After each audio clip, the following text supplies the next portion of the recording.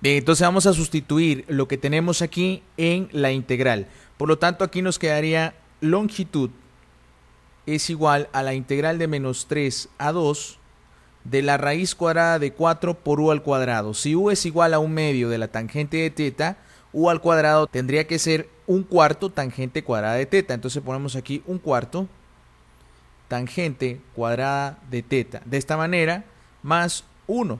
Entonces colocamos esto aquí, la raíz, por la derivada de u. La derivada de u es un medio secante cuadrada de teta diferencial de teta. Ahora, lo que vamos a hacer nosotros es observar que en esta integral, acá adentro, este 4 se va con este 4, quedando así nada más tangente cuadrada de teta más 1. Por lo tanto, esta integral quedaría de menos 3 a 2 de la raíz de la tangente cuadrada de teta más 1 por secante, o sea, un medio, secante cuadrada de teta diferencial de teta. De aquí yo puedo sacar a un medio, quedando así nada más, un medio de menos 3 a 2 de la integral de la raíz, pero ojo, aquí tenemos tangente cuadrada de teta más 1. Tangente cuadrada de teta más 1 es lo mismo que colocar secante cuadrada de teta. Ahora, la raíz de la secante cuadrada de teta nos daría secante de teta. Entonces colocamos aquí secante de teta. Y con esto que tenemos aquí con secante cuadrada de teta, esto nos daría prácticamente secante cúbica de teta. Es decir, un medio de la integral de menos 3 a 2 de la secante cúbica de teta diferencial de teta. De, de esta manera. Ahora, secante cúbica de teta, esta integral que tenemos aquí, voy a tratar de sacarla, es decir, ponerla aquí por separado. No voy a colocar un medio, ni siquiera voy a colocar los límites de integración, solo me interesa integrar secante cúbica de teta. Cuando yo tenga secante cúbica de teta, ahora sí voy a regresarla aquí mismo. ¿Ya? Entonces vamos a colocar aquí como un paréntesis de lo que voy a hacer y me voy a enfocar nada más en la integral de la secante cúbica de teta. Entonces vamos a poner aquí integral de la secante cúbica de teta, diferencial de teta. Esto que tenemos acá lo puedo expresar como la secante cuadrada de teta por secante de teta, es decir, regresamos un paso atrás de lo que teníamos acá y posteriormente esto lo puedo tener también como tangente cuadrada de teta más 1 por secante de teta diferencial de teta. Entonces esto que está acá me puede convertir en dos integrales me puede resultar dos integrales de la siguiente manera. Secante de teta de teta por tangente cuadrada de teta. Esto me quedaría tangente cuadrada de teta por secante de teta diferencial de teta. Y de este lado me quedaría nada más la integral de la secante de teta diferencial de teta.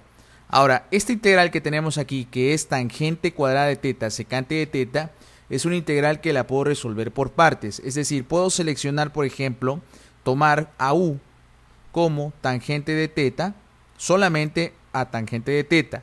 Y la derivada de u, en este caso, sería secante cuadrada de teta diferencial de teta. A la derivada de v la puedo tomar como la tangente que queda de acá por secante de teta diferencial de teta. Y la integral de esto vendría a ser la secante de teta. De esta manera. Ahora sí, Hacemos la integral por partes y esto nos quedaría que la integral sería u por v, que en este caso nos daría secante de teta por tangente de teta, menos la integral de v por du, es decir, secante de teta por secante cuadrada de teta, por la diferencial de teta, y esto nos vuelve a dar aquí secante cúbica de teta diferencial de teta. Entonces vemos que llegamos exactamente a lo mismo que estamos buscando acá, donde está el asterisco. ¿Ya? Entonces lo que vamos a hacer esto es colocar la integral nuevamente, es decir, vamos a poner aquí de inicio integral de la secante cúbica de teta diferencial de teta, esto es igual a lo que teníamos acá. La integral de la tangente cuadrada de teta secante de teta de teta es esto que nos acaba de dar aquí, es decir, secante de teta, tangente de teta, menos integral de secante cúbica de teta y luego le tengo que sumar más la integral de la secante de teta diferencial de teta de esta manera por lo tanto aquí lo que nos va a dar es lo siguiente voy a tratar de despejar a menos secante cúbica de teta en esta integral aquí le falta diferencial de teta lo voy a despejar de este lado de tal manera que nos va a quedar dos veces la integral de la secante cúbica de teta diferencial de teta. ¿Por qué da este 2? Porque aquí tenemos a esto restando. Al pasarlo al primer miembro va a pasar sumando y la integral de la secante cúbica de teta de teta más la otra integral que es la misma, entonces nos queda dos veces esa integral.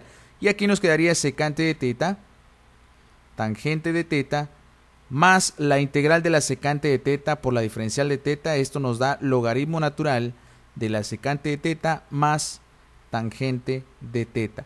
Ahora, ya tengo entonces el valor de esto que tenemos acá, por lo tanto puedo despejar a secante cúbica de teta, diferencial de teta, y este 2 que aparecía multiplicando va a pasar a dividir todo lo que tenemos acá, es decir, un medio de secante de teta, tangente de teta, más un medio, el logaritmo natural de la secante de teta, más la tangente de teta, de esta manera.